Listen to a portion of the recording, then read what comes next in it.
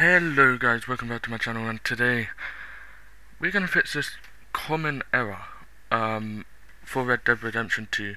Um, I had this error uh, yesterday and it took me like half a day to fix it and I'm going to show you guys how to fix it in less than two minutes or so.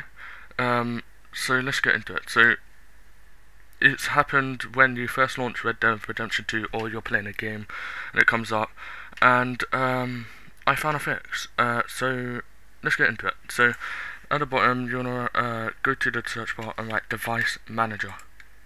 Now you should get this bit.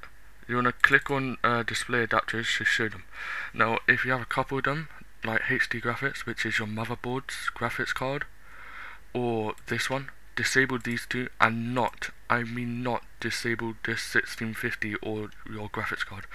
Um, and that should fix your problem. Um, that's why I'm gonna make a short video. Um, the reason for this is because Red Dead Redemption 2 is launching off your motherboard or CPU and not your graphics card and it can't handle it. So you have to disable it. And just like that it should be fixed and I hope this helped you. Um, please share this video because I want to help people and yeah, I'll see you guys in my next video. Bye.